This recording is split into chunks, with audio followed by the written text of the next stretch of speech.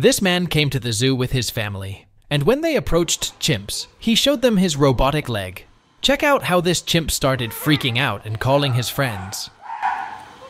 He's calling all his mates. Oh, the other one's coming. So when his friend came, Man decided to show his leg one more time. Look at them all. Show it.